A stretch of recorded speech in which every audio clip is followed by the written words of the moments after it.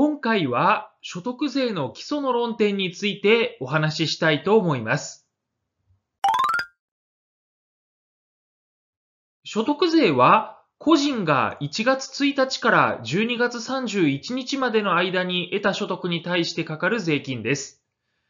1月1日から12月31日までのことを一歴年と言いますから、所得税は個人の一歴年間の所得に課税されると表現することができます。でこの所得というのは儲けのことだと思ってください。ですから、損害を補填する賠償金や保険金を受け取ったりした場合など、お金を受け取っても儲かっていない場合は所得税はかかりません。それから、遺族年金や雇用保険の基本手当など、かわいそうな人が受け取るお金に税金をかけるのは忍びないということで、政策的観点から非課税になっているものもあります。ここで所得についてもう少しきちんと理解していただくために、一つ例を取り上げたいと思います。例えば、450万円で仕入れた野菜を500万円で売った人に対して、どのように税金をかけるのが適切かということを考えたときに、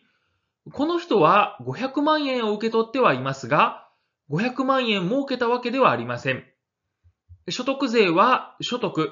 つまり儲けに対してかかる税金ですから、500万円から450万円を引いた50万円に対して税金をかけるべきだと言えます。要するに何を理解していただきたかったかと言いますと、所得というのは収入から必要経費を引いたものであって、収入ではないということです。収入と所得を混同する人は多いですが、これらは明確に違うものですから間違えないようにしてください。次は所得税の納付について。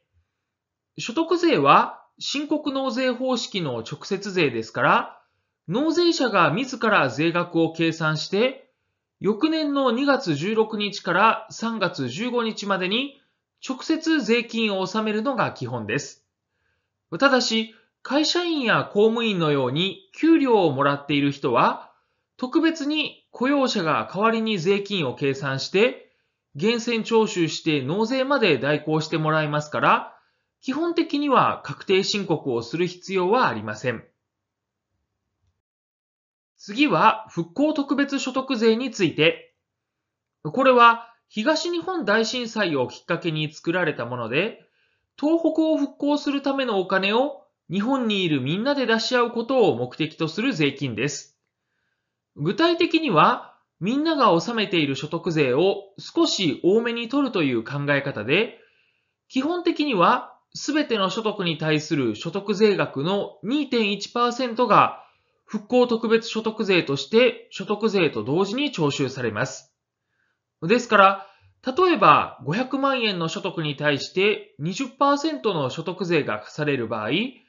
所得税の額は500万円 ×20% イコール100万円ですから、復興特別所得税はこれの2.1%の2万1000円になります。つまり、本来の所得税率が20%なら、復興特別所得税を合わせた税率は20.42%になるということです。所得税率が2.1%加算されて22.1%になるわけではありませんから間違えないようにしてください。続いては青色申告について。所得税を自分で確定申告する人は青色申告という方法と白色申告という方法の2つの方法があります。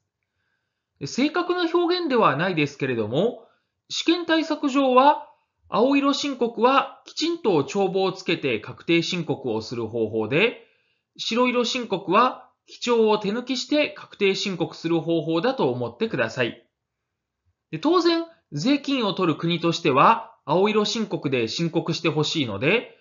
青色申告をする人には様々なメリットが与えられています。ただし、全員が青色申告をすることができるのかといえばそうではなくて、特定の所得がある人に限られます。それが不動産所得と事業所得と山林所得のいずれかです。所得の種類についてはまた次回以降詳しく説明しますので、今のところはとりあえず、富士山は青いという語呂で覚えてください。きちんと帳簿をつけることが要求される事業を営んでいる人が対象で、給料しか収入がない人などは青色申告をすることができませんが、何か事業を始めるなら青色申告をした方がいいと思います。ただ、青色申告は勝手にできるわけではなくて、新たに青色申告をするためには、その年の3月15日までに税務署に届け出をする必要があります。それだと3月16日以降に事業を開始したら、その年は青色申告できないのかといえば、そんな無下なことはなくて、1月16日以後に新規に業務を開始して、その最初の年から青色申告をしたい場合には、業務を開始した日から2ヶ月以内に届け出をすればいいことになっています。それでは今回はここで終わります。ありがとうございました。